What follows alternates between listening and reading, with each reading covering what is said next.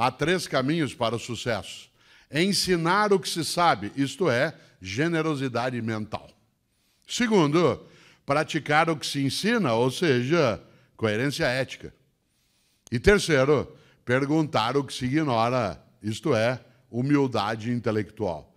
Estas são três trilhas virtuosas para um passado honroso daqui a 30, 40 anos. Nós vivemos hoje múltiplos paradigmas. É necessário que a gente tenha coerência ética de praticar aquilo que ensina.